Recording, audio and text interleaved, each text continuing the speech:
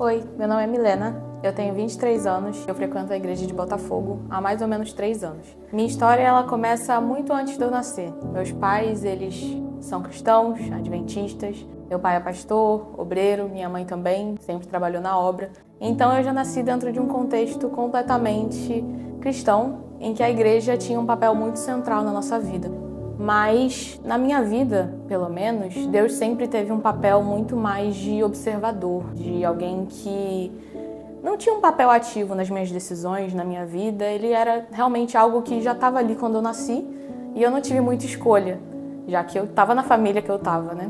E à medida que eu fui crescendo, isso acabou se tornando um, um fardo muito grande porque eu não sentia nenhum prazer nas coisas de Deus, não queria é, abdicar de tantas coisas que eu achava que eram muito importantes para minha vida, para minha juventude, para abrir mão disso por causa de um Deus que eu mal conhecia. Então, desde sempre minha história favorita da Bíblia sempre foi o filho pródigo e eu sempre olhava para essa história e pensava muito naquele filho que saía de casa, perdia tudo e voltava. Mas tem um filho que fica em casa, né?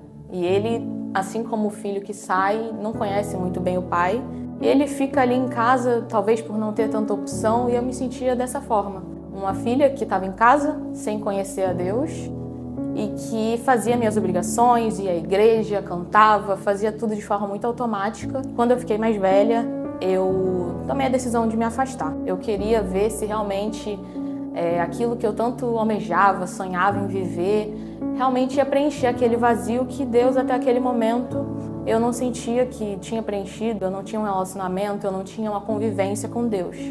Então eu me afastei e, e eu lembro de cair muitas vezes, me machucar, levantar, cair de novo, levantar e eu ficava muito frustrada com Deus, me perguntando onde é que Ele estava, onde estava aquele Deus de amor, aquele Deus de carinho, aquele Pai que eu não via, que não me ajudava, que não, não se mostrava para mim, onde Deus estava, que Ele não conseguia enxergar meu sofrimento, é, todas as minhas procuras, a minha luta incessante por encontrar algo que pudesse acalmar meu coração, preencher aquele vazio que eu achava que conseguiria preencher de alguma forma, encontrar as respostas. E na pandemia, em 2020, foi quando eu tive uma conversa com Deus e falei para Ele: Senhor, eu não quero mais.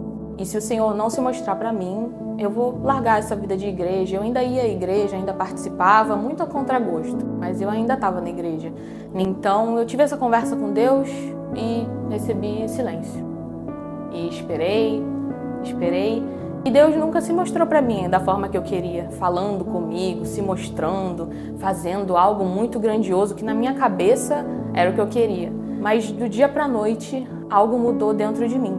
E eu passei a ter muita vontade de buscar a Deus, ter muita vontade de fazer, servir, procurar respostas para as perguntas que eu tinha, mas na Bíblia. Então eu estava presa dentro de casa, com a minha família e Deus. A minha escolha foi buscar Deus de uma forma que eu nunca tinha feito antes. Então ele fez com que essa vontade, esse desejo, essa isso em mim fosse ativado de uma hora para outra e muito de repente eu me vi cercada de um amor, de um cuidado, de uma compaixão, de um carinho que eu nunca tinha sentido antes. E nesse momento Deus me mostrou de forma muito clara que ele sempre esteve ali. Então, a partir desse momento eu comecei a conseguir ver o cuidado que Deus tinha tido durante todo aquele tempo. E que mesmo eu tendo me afastado dele, ele não tinha se afastado de mim. Era eu que não conseguia ver. E já se passaram quatro anos desde que isso aconteceu. E no início desse ano, final de 2023, eu recebi o convite para fazer parte da liderança jovem de Botafogo. E vocês imaginem minha surpresa ao receber esse convite. E meu primeiro pensamento foi: eles erraram. Não é possível que isso realmente é o que o Senhor quer para minha vida, Senhor. Não tinham pessoas muito melhores e mais preparadas do que eu para fazer esse trabalho?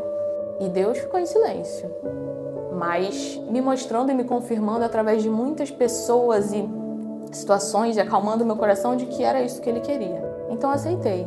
Por quê? Em 2020, quando Deus foi tão longe para me trazer de volta, eu estava tão cheia de gratidão eu queria muito retribuir isso de alguma forma. E eu falei com Deus: Senhor, já que o Senhor foi tão longe só para me buscar, só para ter a Milena de volta, Então, eu vou fazer um combinado com você, só entre a gente. Tudo que for do Senhor eu aceito. Não vai existir a palavra não no meu vocabulário. Então, tudo que me chamam e eu sei que é Deus me chamando, querendo me transformar por meio disso, eu aceito. E Deus, como um pai que me conhece muito bem, é muito paciente, ele me mostrou de muitas formas que a liderança não precisava de mim. Ele podia usar quem ele queria, ele podia capacitar quem ele quisesse, mas eu precisava que Deus me mostrasse através desse serviço, né? Que Ele pode me usar onde Ele quiser, porque meu Deus é, é isso. Ele pega pessoas que se acham incapazes, que não têm nenhuma capacidade, e Ele me mostra isso constantemente, que não é por, pelos meus méritos, é 100% por Ele. E que enquanto eu estiver confiando nele, Ele pode me levar para lugares que eu nunca imaginei estar. E hoje eu posso dizer com muita certeza que antes o Deus que era dos meus pais, aquele Deus que eu via de longe, ele é meu Deus.